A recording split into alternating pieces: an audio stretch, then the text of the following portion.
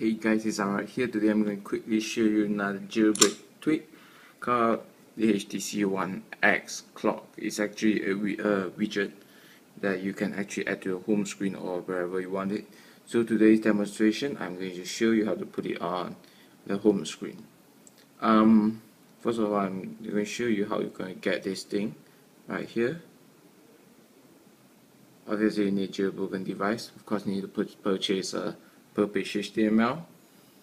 Um, this allows uh, to put uh, multiple um, multiple uh, widgets into uh, one page and allows customize uh, a few pages.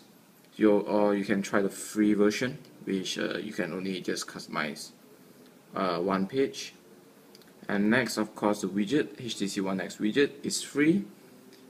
Um, just search for it, and if you want to arrange the icons like uh, what you do in uh, Android, you can simply place icons. You need Gridlock 2.0.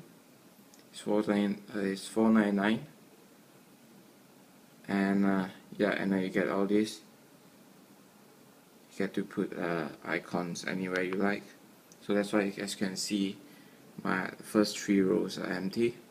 So it's the uh, widget itself takes up three rows actually. Four columns. Um yeah two for the clock of course one for weather but the weather will never work. Uh it's actually nothing that it won't bring out any settings or anything. And then you cannot find the settings. Um yeah the weather it keeps saying no connection of uh, although my iPod is connected to my Wi-Fi all the time. When it's not connected, it's just going to say please wait. When it's connected, it's going to say no connection. Um, you got no settings, and then the clock, you can't change it to uh, 24 hour or vice versa. The, the clock is fine, just weather, weather, um, weather, and the settings. You cannot find settings. There are no settings in the uh, settings application or in the app itself so after downloading PerPageHTML plus you can navigate to this any page you like. So I'm going, just going to go to page 1 where I put my HTC One X clock. Of course at widget you get this uh, HTC One X here. So which I got and then when you quit this app it's gonna respring. And yeah you, you get this app. So and a Gridlock it doesn't come with any settings app. Uh, after installing the uh, tweak, you just start arranging icons, stuff like that. Yeah, and uh, it looks really like the uh, clock you get in uh, some HTC Sense devices. Um, the design, everything, but it doesn't have to the uh, flipping effect. Just gonna stay like that. So if it turns, what? If the time changes it's gonna change. It. it doesn't have those flip thing effect. Tapping does nothing as I said doesn't have a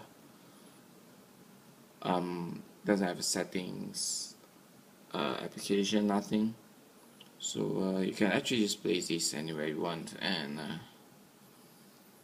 if you if you want to place in the lock screen you can get the app uh, get any jailbreak tweak. Of course you need a base first before you can put this tweak um, it's HTML based so uh, yeah that's about it.